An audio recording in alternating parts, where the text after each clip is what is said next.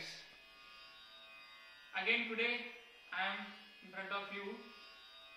Now, last week we have done so many lessons for the both the batch of Tabla students, and I hope you are doing well with the lessons which I have given to you. And you, if you have any queries, any practical problem regarding the execution of the bol a call or do, give me a WhatsApp call. We will talk and we will discuss about the execution of the bol and bandish and if you have any diff- another another queries, please ask me and do well, stay fit and uh, stay happy. Thank you.